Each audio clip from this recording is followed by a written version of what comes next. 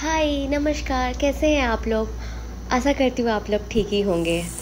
और आज मैं आप लोगों के लिए बहुत यूनिक सा और अजब सा रेसिपी लेके आई हूँ, जिसका नाम है प्रॉन्स ऑमलेट वो बहुत इजी से बनता है। आपको बहुत सारे इंग्रेडिएंट्स भी नहीं चाहिए। और स्पेशली जो जो अभी नए नए खाना बना रहे हैं वगैरह, और अकेले रह रहे हैं हॉस्टल्स में और पी में वगैरह, उनके लिए बहुत अच्छा है। आराम से बना सकते हैं।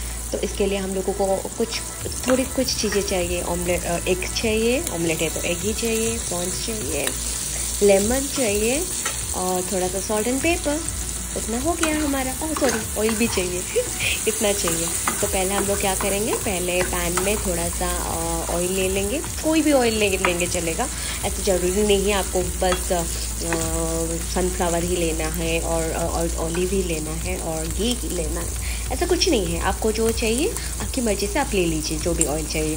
फिर उसके ऊपर आप प्रॉन्स डालिए, अच्छे से साफ़ करके प्रॉन्स को और फिर उसको थोड़ा सा फ्राई कीजिए।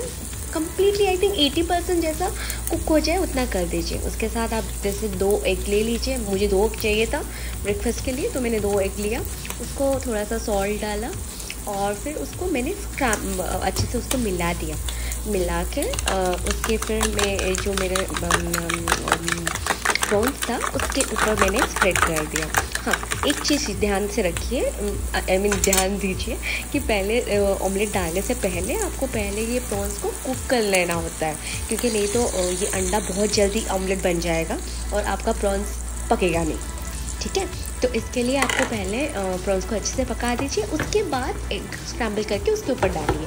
और फिर थोड़ी देर, ये सारे प्रोसेस आपका स्लो फ्लेम में होगा। कभी भी उसको हाई पे मत रखिए, क्योंकि नहीं तो वो बर्न हो जाएगा और ख़राब हो जाएगा, फिर नीचे से लग जाएगा वगैरह।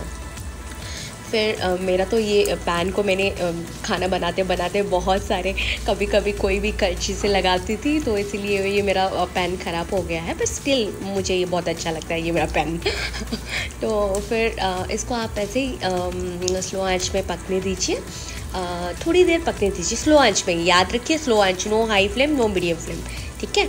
उसके बाद, थोड़ी देर के बाद, उस, थोड़ी देर होने के बाद वो अंडा अच्छे से सेट हो जाएगा।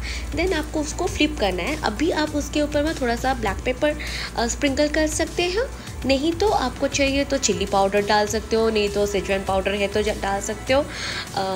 और अगर आपको ऑमलेट में भी, अगर ऑनियन टमाटोस और बेल पेपर और कुछ भी चाहिए डालना है तो आप सब मिला सकते हो। मुझे पसंद नहीं है, मुझे प्लेन पसंद है तो मैंने वैसे डाला। और मैंने उसको फ्लिप करके निकाला, उसके ऊपर टॉपिंग में मैंने थोड़ा सा मस्टर्ड एंड नैंडोस डाला था। ये ज़रूरी भी है नहीं हाँ? ये आपके ऊपर डिपेंड करता है। आपको अगर केचप लगा के खाना है तो लगा लीजिए। आपको मायोनीज़ लगा के खाना है तो वो भी चलेगा।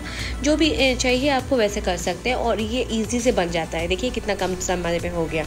और सबसे बड़ी बात है कि ये आपका बहुत हेल्दी होता है। एक बार खा लो तो पाँच छः घंटा तो आपको भूख ही नहीं लगेगा।